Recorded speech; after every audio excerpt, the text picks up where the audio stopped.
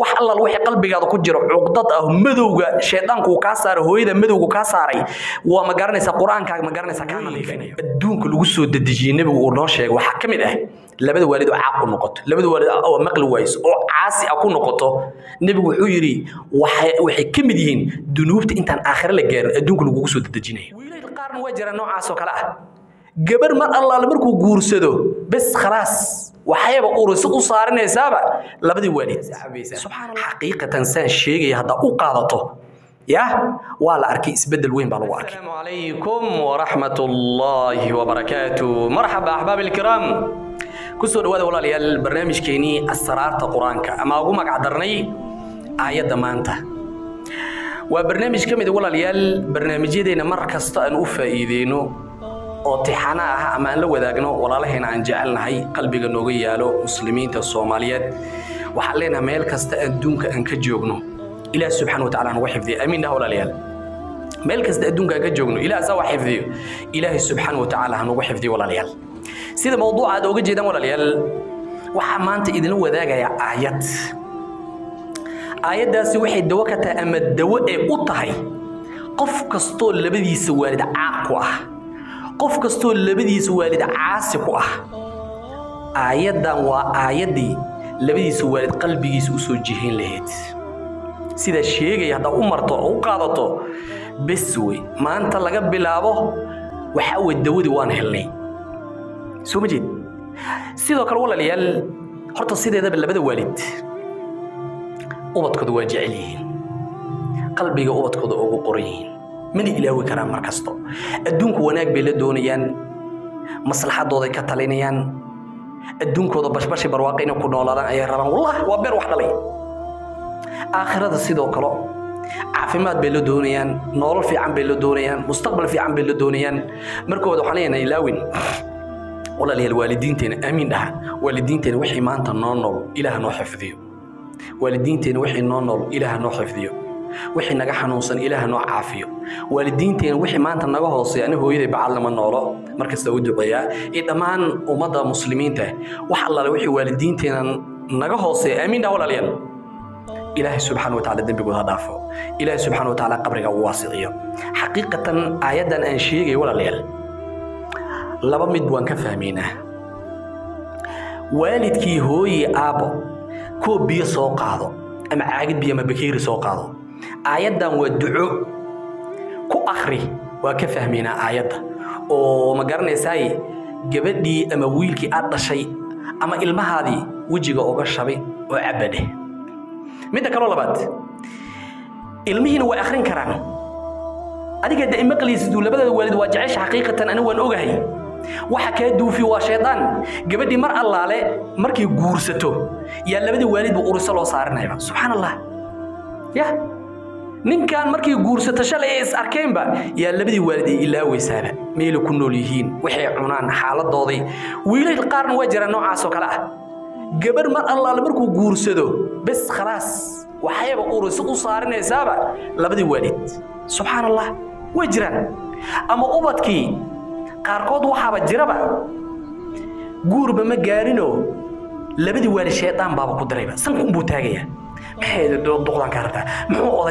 baas. Waxaan naftan ku keenay. Wiilal kalea meelaha calan oo ma garanaysa babinaya.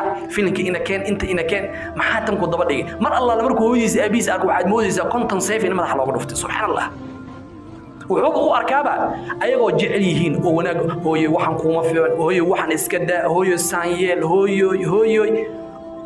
u arkaaba inay ma garanaysaa gadaal u wadaanba ubadkaas kuwa qaar waxaa jira qur'aanka xifdisan. War waa ifahmaysan aayaddan aan sheegayo jisga ay ku jirto iyo suuradda ku jirto iyo aayadda raqamkeeta waa fahmaysaa.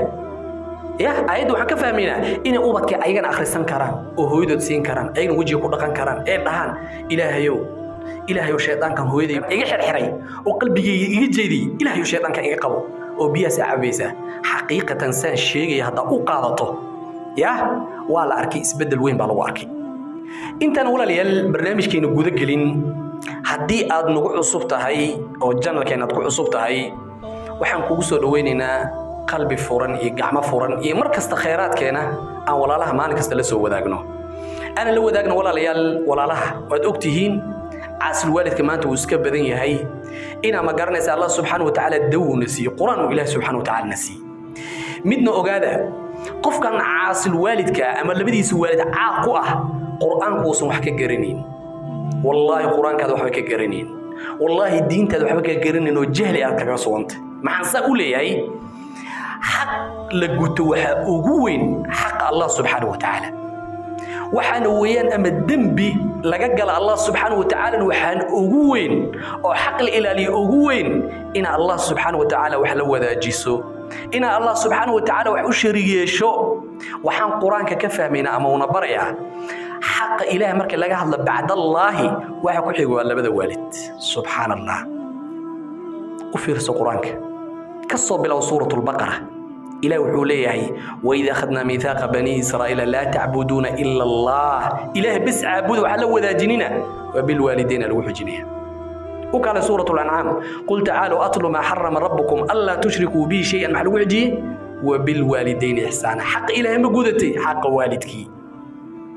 سورة النساء. واعبدوا الله ولا تشركوا به شيئا. محلو حجي. إلا وعباه لو جنين. أو شريال والدك قال حجي. سبحان الله وقال سورة الإسراء. وقضى ربك ألا تعبدوا إلا إياه. هي.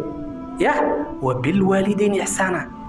بالفيري حق إلهي. الذنب بإلهي اللي قلو إنا إلى حقوق حقوقي سوحة أغوين oo ilaahay uusan ka yeelin innaba uusan kugu dembi dhaafin ina ilaah markaas waxa lagu xujinayaa war labada waalidna fiiriya.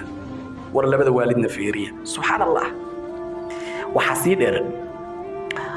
Qof haddii uu yidha waa kula dardaarmaa ka war. Kam imisaa dhagaa u raaricinaysaa dhagaasaa u taagaysaa hadduu qofku dhaho kula dardaarmaa ilaahu kula dardaarmaa ka war dardaarankiisa ilah wuxuu nagala dardaarma waa labada waalid.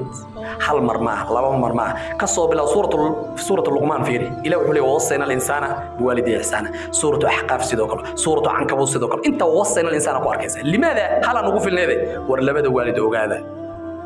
Qof lagu mahdiyo oo loo shukriyo mahadsanid la yaa ugu horreeya oo mudan allah dheh waa ilaahi subxaana wa tacaala ilaah wuxuu ku leey mar allaal markaa aniga ii mahad celisid ku xuji labada waalid anishkur lii waliwaalidayku allah subxaana wa tacaala u leeyahy cajiib cajiib cajiib waxaa intaas sii dheer janno ma doonaysaa janno ma doonaysaa horta inta adduunka saarana muslim ma tahay janno ma doonaysaa haa idhe haddaad janno doonaysid yaa hooyada labadeeda logood ka raadi meel kale ha ka dadayin nebigu wuxuu leeyahy calayhi salaatu wasalaam aljannatu taxta aqdaami lummahaat janno waxay ku jirtaa labadaada labada lugood hooyada labadeeda lugood ayaa janno ku jirtaa. Janno ma dadayaysaa dee bariiskaad iska ciidi adeeg kuu taala? Jannadii labada lugood hooyada ku jirto oo aad caasi ku noqon xageed ku socotaa subxaan allah camal la ilaaliyo. Dhegeysta camal la ilaaliyo. Uu nebigu noo sheegay axabu lacmaal ila allah. Camalkan ilaahay agtiisa ugu wanaagsan qofku inuu ilaali la doonay ma garanaysaan camal saalix loo soo gudbay xaqi marka laga soo tegey soo salaada maaha waadka hadda la aadaamayo. Mar alla markay aadaam u maqasho yaa salaada duhuro kalo waa inaad sii weyse qaadato. Salaada ilaalayso sooma u kaaliya salaada xaya cala salaa xaya cala falax soo lama dhahay. Ilaali lama laha. Waxa lagu xijiyey ma garanaysaa nebigu u xijiyey. Salaatu calaa waqtiha muxuu ku xijiyey? Waa bir lwaalidiin lagu xijiyey labada waalid ilaali u fale u ixsaan fal oo ilaali xuquuqdooda. Subxaan allah war labada waalid haddaa xaqooda gudan waysid oo caaq ku noqoto oo caasi ku noqoto ma ogta min kabaa'iri dunuub inay ka mid tahay? Dunuubta kuwa waaweyn. Bal waxaan oran karnaa cuquubooyinka adduunka lagu soo dedejiyey nebigu uu noo sheegay waxaa ka mid ah labada waalid oo caaq ku noqoto labada waalid oo maqli wayso oo caasi ah ku noqoto. Nebigu wuxuu yidhi waxay ka mid yihiin dunuubta intaan aakhire la gaarin adduunka lagugu soo dedejinayo subxaan allah subxaan allah war maxaa naga si ah war laba waalid miyaa la dayici karaa? War laba waalid ma caasi lagu noqon karaa? War diinta miyaan wax ka aqoonin war ma jahliyaan nahaayo? Qiyaamaha markii la tago nebigu wuxuu noo sheegay ilaahay subxaana watacaala maba eegayaba saas kuma fiirni. Nebigu wuxuu yidhi laa yanduru ilayh ilaahay subxaana watacaala caaqul waalidka ilaahay ma eego. Idhaf subxaana allah lacanad ilaah nebigu wuxuu ku tamaaya lacana allah ilaah wuu lacanadayba caaqul waalidka ilaahay wuu lacnada u nebi yidhi sal ly slam ilaahay wuxuuna siiyey adduunka intaa saarana qur'aan. Ilahu ku tilmaamo wayashfi suduura qoomin mu'miniin wayudhiba kayda quluubihim. Wax allal wixii qalbigaada ku jiro cuqdad ah madowga shaydaanku uu kaa saaray hooyada madowgu kaa saaray waa ma garanaysaa qur'aankaaga ma garanaysaa kaa nadiifinayo. Yaan waqtiga ku dheeraan walaalayaal salaada nagu dhadhow. Ninkii la oran jiray abumacshar yaa wuxuu ka soo ishtokooday wiilkiisii. Wiilkiisii oo ma garanaysaa hooyadiis maqli waayo caaq ku noqday asagii caaq ku noqday waalidiintiis ma garanaysaa uriso loo saariyey. Wuxuu u yimaad ninkii caalimka dalxat ibnu musarif oo taabiciga ahay oo caalimka ahay oo imaamka ahay oo ma garanaysa mujawidka muqriga qaari weyna sayidulqura iyo nanistiisa la oran jiray. Waa nin caalim waa imaam waa ma garanaysaa yani waa nin mualif weyn wey la yaqaan dalxat ibnu musarif yuu u yimaaday wuxuu ku yidhi nin ubadkayga saasay noqdeen wiilkaas saas iga ah. Maxaa sameeyaa? Ninka caalimka wuxuu yidhi istacin calayhi bihadi alaaya. Aayaddan u kaalmayso. Waa aayad qur'aan oo duco ah. U kaalmayso ku yidhi markaasuu maxay ta aayadda ii sheeg? Markaas wuxuu yidhi rabbi awzicnii an ashkura nicmataka alatii ancamta calay wacalaa waaliday waan acmala saalixan tardaa waaslix lii fii duriyati inii tubtu ilayka wa inii min almuslimiin waa jiska shanaad suuradda axqaaf. Aayadda waxaan jeclahay shan iyo toban meelahaas inay taan jeclahay waa safxada. Safxada labaad wey safxadda koowaad waxaa weeye waidaa xushirna safxada labaad wawasayna linsaana wawasayna linsaan aakhirkeeda wey wahaakada aayadda marka waa duco wee dheereed aakhirkeeda wey hooyada ama aabbaha wuu akhrin karaa wiilka ama gabadhii magaranaysa ma garanaysa shaydaanka mugdii hooyadeeda aabeed ka saar way akhrisan kartaa. Marka aan isku akhrina biidni illaahi tacaala daa'imanne kuwa biyo aan soo qaadanno mar kasto biyahaas aan cabno waxaan kaloo idinkuu siyaadinayaa mar kasto aan sujuudsannahay qofka markuu ilaahay subxaana watacaala u dhowiyo markuu sujuudsanya nebigu wuxuu yidhi aqrabu maa yakuunu alcabdu lirabbi wa huwa saajid. Addoonka markuu allah subxaana watacaala u dhowiyo markuu sujuudsanaya sujuudda aan ku akhrino sujuudda aan ku akhrino rabbi owzicni an ashkura sujuudda lama ogolo qur'aan qur'aan lama ogolo laakiin qur'aanka wax ku jira oo ducooyin ah khaasatan rabbana rabbana haddaa aragto sujuud waa lagu akriyaa laakiin qur'aan sujuudda ma ku ansaxmayso. Sujuudda markaa salaada ku jirtid markasta ku akhri oo ku duceey adigana inuu ilaah madooga kaa qaado labada waalid ilaahay ku jeclaysiiyo hooyadana sidoo kale markasta inay ku duceysay tiraahdo rabbi awzicnii an ashkura nicmataka allatii ancamta calaya wacalaa waaliday wa an acmala saalixan tardaah wa aslix lii fii durriyatii innii tubtu ilayka wa innii min almuslimiin markasta waxaan allah subxaana wa tacaala ka baryaynaa aan ku gebagabaynaynaa ubadkeena ilaahi subxaana wa tacaala shari sheedaan ha ka qabto. Qalbigooda ilaahi subxaana wa tacaala hooyooyinkooda iyo aabbooda u soo jeediyo. Balada baas oo ma garanaysa ka jeedinaysa waalidiintooda ilaahi subxaana wa tacaala ka qabto. Qur'aanka u kaalmaysanaynaa qur'aanka allah subxaana wa tacaala isaga yiri wanunazilu min alqur'aani maa huwa shifaa. Qur'aanka ilaahi subxaana wa tacaala waa dawo. Meel kaloo loo cararo ka weyn ma jirto. Soo ma arkin? Ducadaasna wax weyn baa laga arkay. Aan walaalaha la wadaagno. Anigna ajir ilaah iga siiyo dhammaan waalidiinteen dembiga dembi waalidkeen baa allaha dhaafo. Oo walaalkiin bacad loo idin leh. Assalaamu calaykum waraxmat ullaahi wabarakaatu waila liqaa